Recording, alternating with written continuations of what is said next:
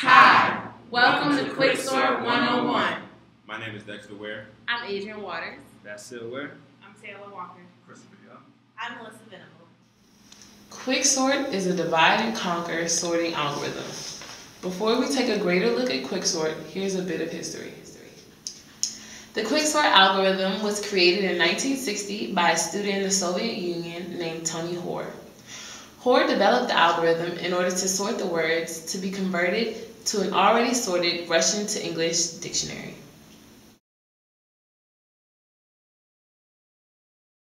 The quicksort algorithm finds the location of an element, then splits the array into two sections. This element is called the pivot element. I will now explain the best case and worst case running time for Quicksort. Quicksort has a worst case running time of theta n squared. Although the worst case running time is slow, Quicksort is one of the best sorting methods. The best case running time for Quicksort is theta n log. Class, I'm here to speak about the two parts of uh, a quicksort function.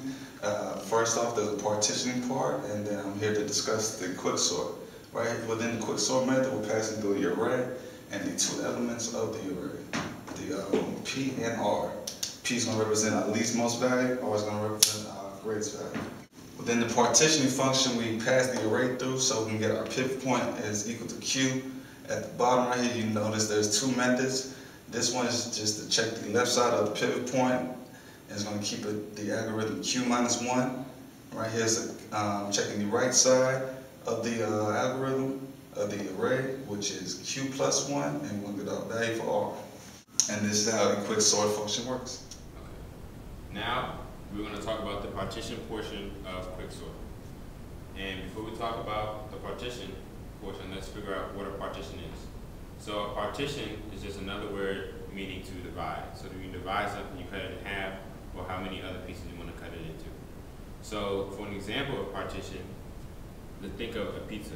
So we have a pizza, you usually get it in eight pieces, or eight partitions. And then those eight pieces, or partitions, can be used in whichever way you want to use them in. So in this case, they're being used to feed eight people, or if you're greedy, one for yourself. So now that we know partition, what partition is, on the board right here, I have the pseudocode for partition.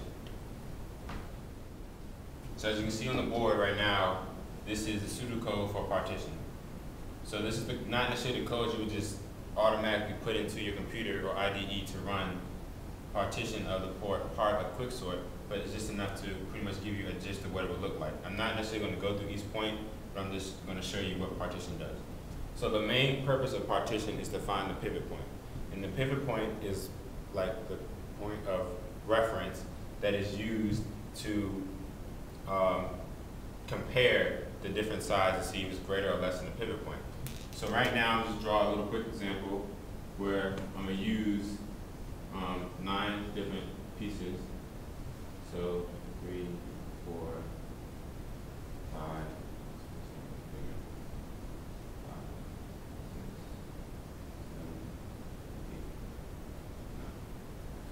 So, okay.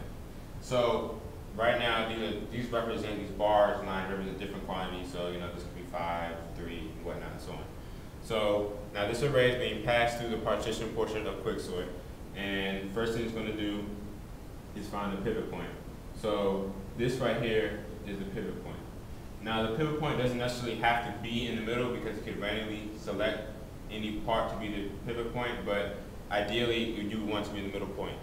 So when you find this pivot point, it's going to compare the different values to see if they're greater than or less than the pivot point. So right here, this example, this right here you can see is shorter than this, so it's less than that. So we move over to the left side, and then this is greater than the pivot point, so this would be moved over to the right side. Now, it's not necessarily moved over in order or whatnot. So after this is done, this will go back and be called back into the actual quicksort portion that was previously explained. And then after it's called back, it'll go back into the partition, and then it'll find another pivot point for the left side. So this is not necessarily how it will look, but just to give an example of finding the pivot point on the left side. So this might be the pivot point on the left side this time, and it'll find a pivot point on the right side. So this right here is like a subarray.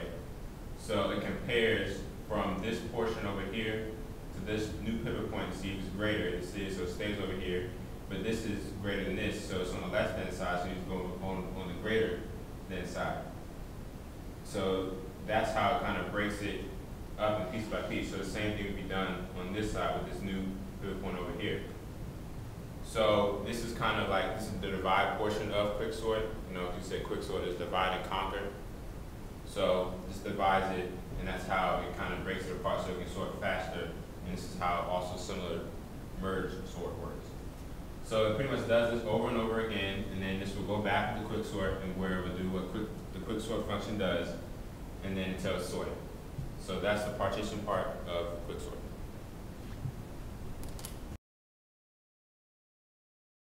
So now we're going to select the pivot. The pivot is usually the middle number. In this instance, it will be 5. So now that we have 5, everything to the left of the pivot is going to be smaller, and everything to the right of the pivot is going to be bigger. So now we'll go through and compare the values. Is 4 greater than 5? No, it is not. Is 10 greater than 5? Yes, it is. So we will select 10. Then we'll go to the right.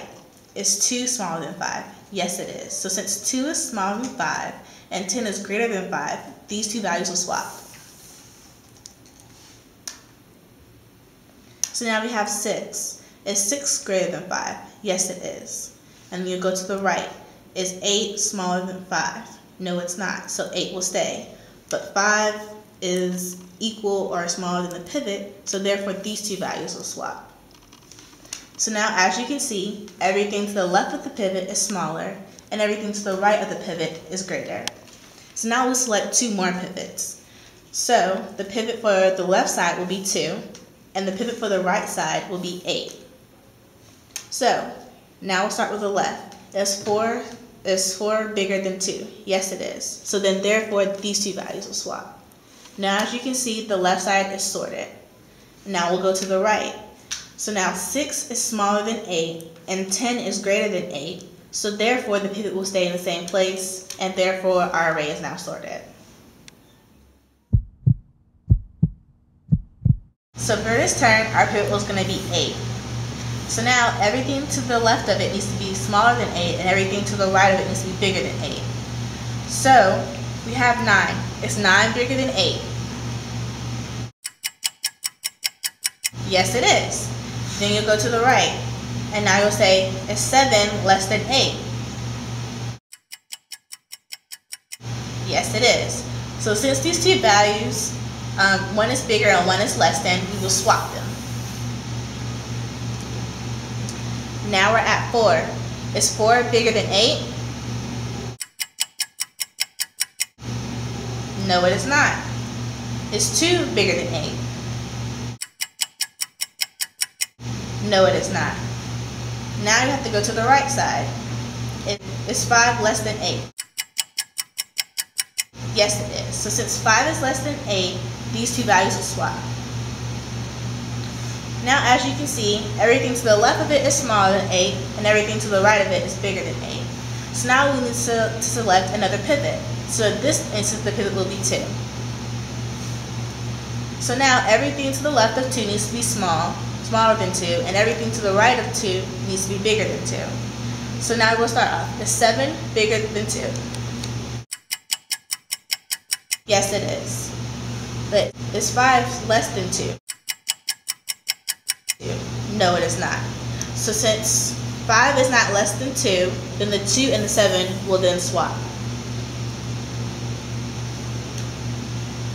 Now we need to pick another pivot. The pivot this time will be 7.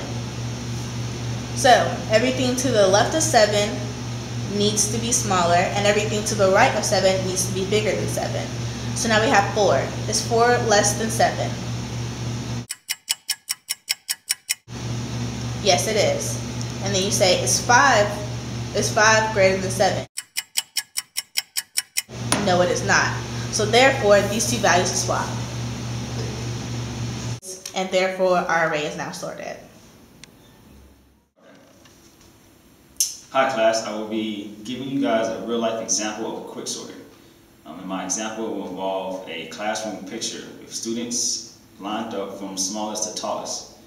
Um, pretty much, we're gonna want to take a picture with uh, random students to have their picture in order from smallest to tallest. And All right, so now I'm gonna choose a pivot. Have him as a pivot point. All right, so now that she's smaller, so she go this way. Now she's on the left side. She's smaller, and she go on the left side. All right, now he's smaller, he goes to the left side. Now we need a new pivot. She's smaller, she goes to the left side. Now we have a quick story. Simple. Within the past 10 minutes, you have seen us explain the quicksort algorithm. We have given you the history of quicksort, the definition of a pivot, the best case and worst case running time, an example of the partition stop within the algorithm, shown an example of quicksort using cards and a real world example with a class picture. We hope that you now have a better understanding of quicksort. If not, feel free to replay the video.